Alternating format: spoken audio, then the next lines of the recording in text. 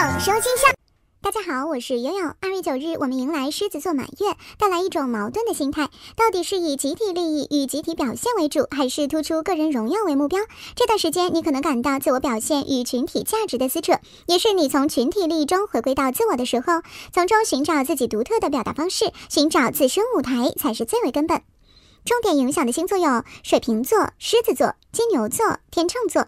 接下来看一下本次星象对十二星座的具体影响，参考上升与太阳星座。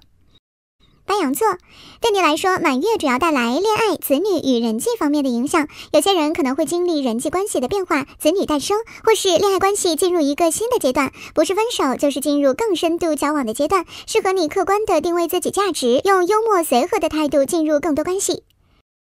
金牛座，你需要注意家庭关系、家人与房屋状况。满月可能预示着你房租就要到期，某个房屋的事项就快进入尾声。此次满月给你带来内缩的能量，让你不要过于急于表现自己，退回安全范围内观察局势。双子座，你可能感到理念上的撕扯。表面上，你更客观友好的倾听与学习，可能只是为了巩固自己某个深层的信念。你可能学习考试进入了尾声，旅行给你触发许多感悟、思考与学习，摸索自己更内在的想法。巨蟹座，你可能关注自己的财务状况，尤其是现金与投资、付出与回报方面的考量。满月有助于你更理智地思考自己所有的程度，力所能及的范围内考虑投资、合作、理财、红利、遗产等相关事务。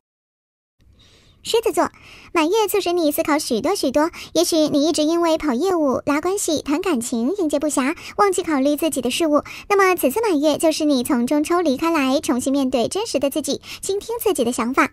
你可能会发现一个不一样的自己。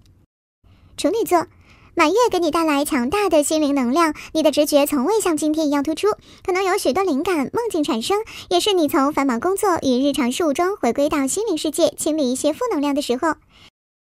天秤座，你很关注团队是否和谐，与友人的简单问候让你的生活别有一番滋味。有些人感受到朋友的疏离，一些关系淡去等，你更容易用冷静的心态去表达，维护别人与自己之间微妙的距离，也不至于过分沉浸某些个人嗜好中。天蝎座，对你而言，家庭与个人发展的矛盾是最明显的。你要避免投入工作状态而无法照顾家庭的需求，失衡将导致顾此失彼，或是感到自己想法不被家人理解等。你可能有上司的更换，事业上一些旧的项目告一段落等，这都预示着你将要跨入一个新的阶段。留意长辈关系与健康。射手座，你有些想法无法理清，甚至容易分心。你最近身心能量十分活跃，有助于推广、沟通、学习的事项，但容易被一些遥远宏大的目标和理想所打乱。你可能在学习方面有一个阶段性的成果，或是旅行告一段落，得到某个消息，拿到 offer 与证书，获得某个学位等。对一部分人来说，这是适合考虑自己当下理想是否实现的好机会。表达应更客观的进行。摩羯座，你对自己目前财务状况更多了份理性的观察。如果你参与合作事项，满月对你而言可能是关注他人利益、客观思考的一天。你可能有一些账款的收入，比如投资分红等，但不宜盲目开始下一轮理财计划，静观其变。你应该检查自己的资金流转、信用卡还贷等是否到期。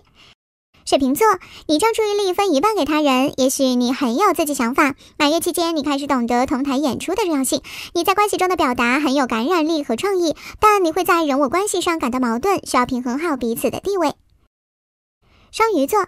本次满月适合你安排自己生活，调整作息与习惯，休养生息，而不是争强好胜。